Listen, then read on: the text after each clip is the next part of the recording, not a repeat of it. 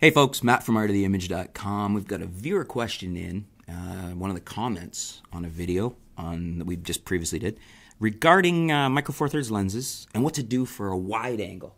What do we have here? We have um, Try Ventures YouTube username writing in.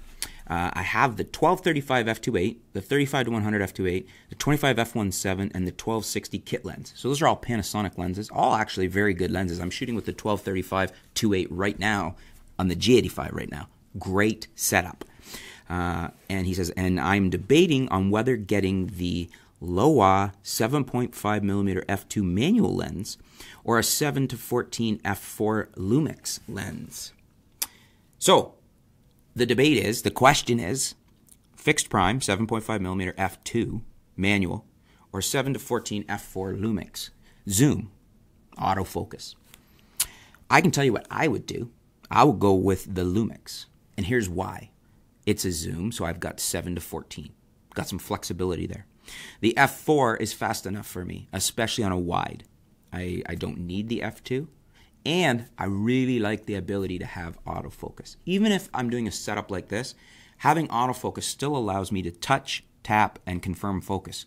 If I don't have an autofocus lens, I can't do that. I have to go back and adjust it. So, especially in a one person setup, when you're not shooting with a crew, advantageous to have autofocus. Also advantageous, you got 0.5 millimeters wider. Not a huge amount, but it is wider.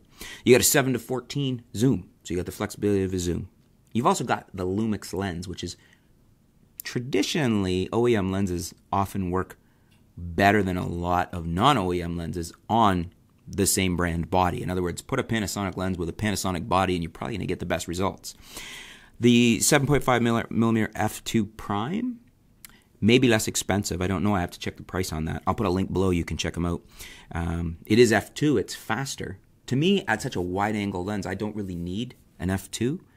And I'm not, I, you know, when you're that wide, it's not really going to make that much of an impact on depth of field and bokeh, such as if we were shooting a longer lens like an 85 or a 70 to 200. Uh, so f4 and f2, not a big difference to me. And the and, and the zoom is a constant aperture f4. So for me, the way to go is the Panasonic 7 to 14 f4.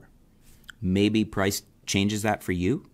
Maybe you like something different about the fact that it's an f2. Maybe you prefer it's a manual lens. A lot of people focus manually depending on how they're shooting video.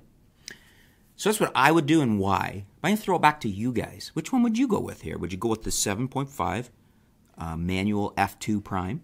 Or would you go with the 714 Panasonic Zoom, the f4 Zoom? It's got autofocus, the prime doesn't. What would you do and why? Let us know in the comments below. Let's help out Tri Ventures in making his decision. Thanks for uh, your comment, your question. Stay tuned. We'll be back soon here at artoftheimage.com.